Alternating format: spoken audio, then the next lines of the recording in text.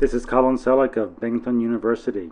This is chapter 13.5 from the book Dynamics by R.C. Hibbeler. Today I will talk about the equation of motion in normal and tangential coordinates. Today's objectives, you will be able to apply the equation of motion, that's Newton's second law, using normal and tangential coordinates. Activities include applications, the equation of motion using nt coordinates, and some problem solving. First, some applications. Racetrack turns are often banked to reduce the frictional forces required to keep the cars from sliding up to the outer rail at high speeds. If the car's maximum velocity and a minimum coefficient of friction between the tires and track are specified, how can we determine the minimum banking angle theta required to prevent the car from sliding up the track? Here's a ride at an amusement park the hydraulically powered arms turn at a constant rate, which creates a centrifugal force on the riders.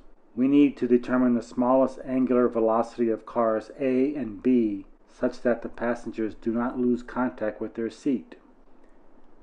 Satellites are held in orbit about the Earth by using the Earth's gravitational pull as the centripetal force, the force acting to change the direction of the satellite's velocity.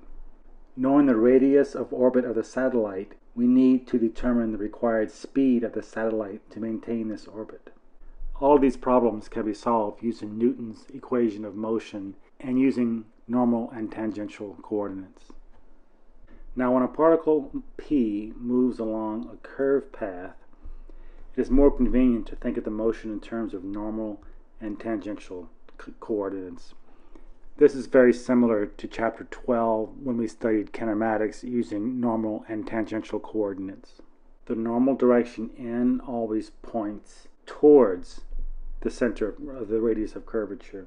In a circle, the center of curvature is the center of the circle. The tangential direction t is tangent to the path, usually set as positive in the direction of the motion of the particle. Now Newton's equation of motion seen here is a vector equation, so it's a simple matter to write it in terms of the normal and tangential coordinates as seen here.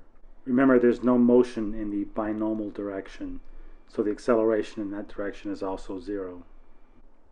And we can write the scalar version of this equation, the summation of forces in the tangential direction is equal to mass times acceleration in the tangential direction.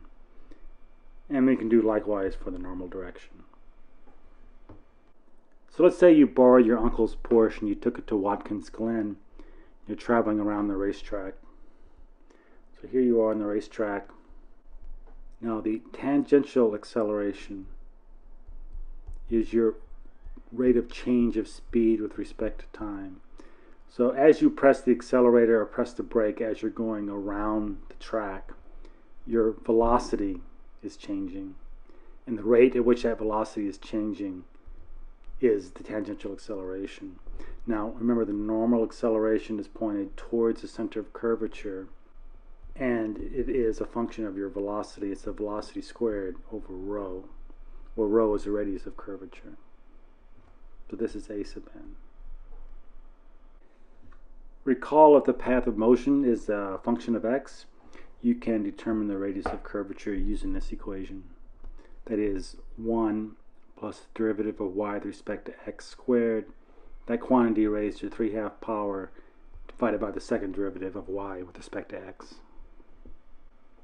So let's go over how to solve problems with the nt coordinates. This is very similar to rectilinear coordinates, x, y.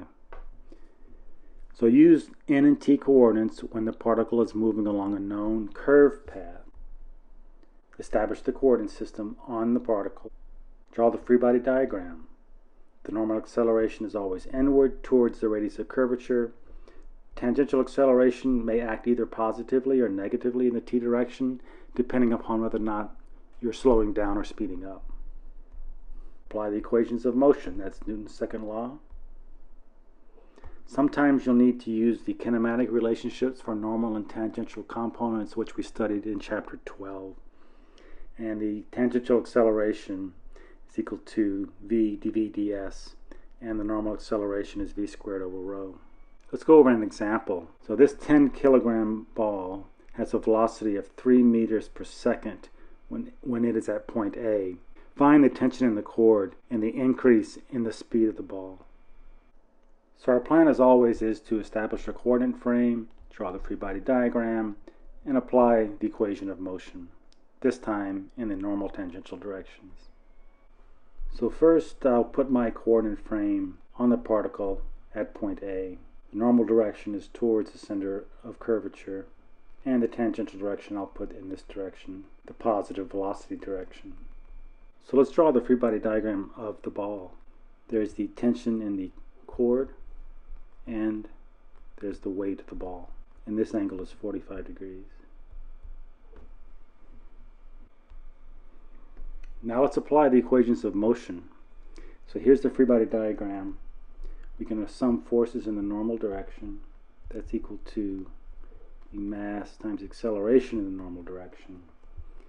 So in the normal direction we have t minus the component of the weight, which is w sine of 45.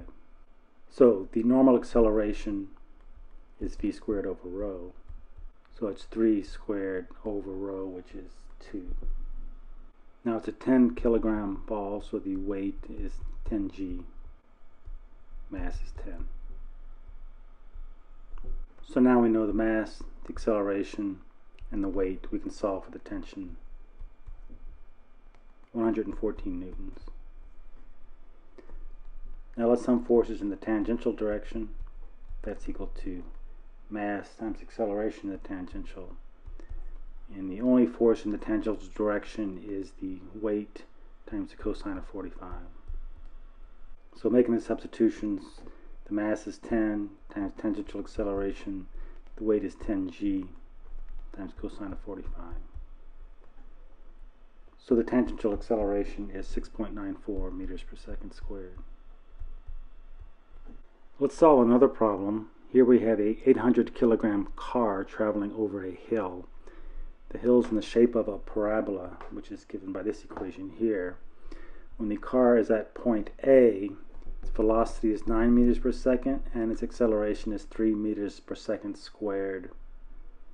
We want to find the normal force and the resultant frictional force exerted on the road at point A by the car.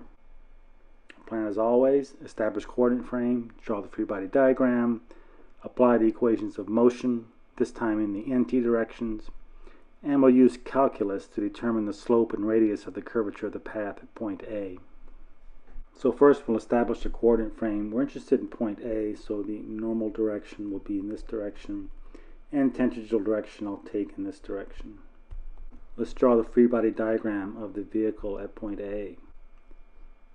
Here's the in direction, t direction. So we have the weight of the vehicle, we have the normal force and we have a frictional force.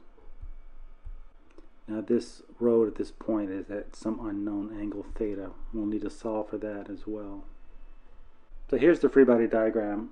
So let's apply the equation of motion in the normal and tangential directions. So summation of forces in the normal direction is the mass times acceleration in the normal direction, which is the weight times cosine of theta minus n.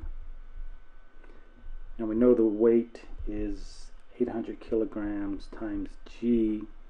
We know the normal acceleration is v squared over rho.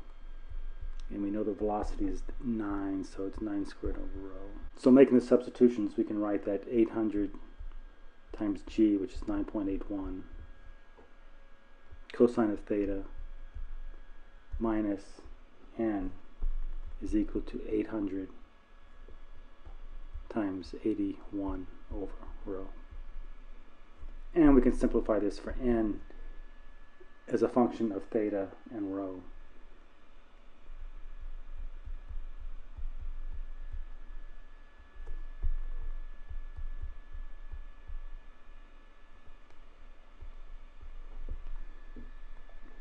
Now let's forces in the tangential direction. That's equal to the mass times the acceleration in the tangential direction. So summation of forces in the tangential direction is the weight times the sine of theta minus the frictional force. Now as before, the weight is m times g, or 800g, and the tangential acceleration is given as 3 meters per second squared.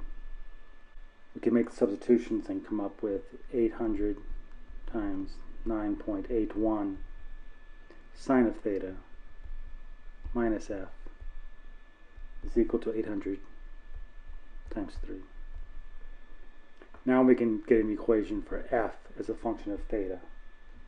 7, 8, 4, 8 sine theta minus 2400. So now we have an equation for n as a function of theta and rho, and we have an equation for f as a function of theta. So all we need to do is find theta and rho at this point on the track, and to do that we'll use calculus. Now recall the equation for the parabola was y is equal to 20 times quantity 1 minus x squared over 6400 and that's that was given. So we'll need the first derivative which is minus 40x over 6400 we'll also need the second derivative. That's equal to minus 40 over 6400. Now the equation for rho is given by calculus to be the quantity 1 plus the first derivative squared, that quantity raised to the 3 half power divided by the second derivative.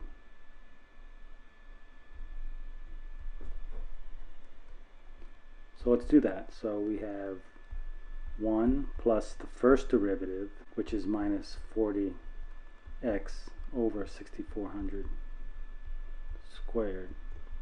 That quantity raised to 3 half power divided by the second derivative, which is minus 40 over 6400.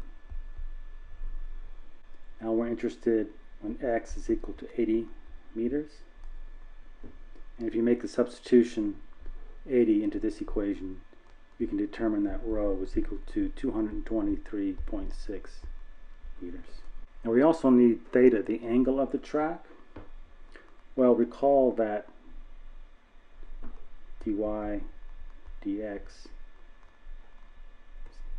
so the tangent of theta is just equal to dy dx. So in our case, theta is equal to the inverse tangent of minus 0.5 and that is 26.6 degrees. So now we can go back to the equation for the frictional and normal forces and now we know rho and theta so we can solve for those. So recall that the normal force was 7848 cosine theta minus 6400 I'm sorry 64,800 over rho. So we make the substitutions 7, 8, 4, 8 cosine of 26.6 minus 64 800 over rho 223.6. So this is 6728 newtons. And equation for F was 7, 8, 4, 8 sine of theta, now theta is 26.6, minus 2400. So this equals 1114 newtons. This concludes section 13.5, the equation of motion for normal and tangential coordinates. Next up is chapter 14, kinetics of a particle, work and energy.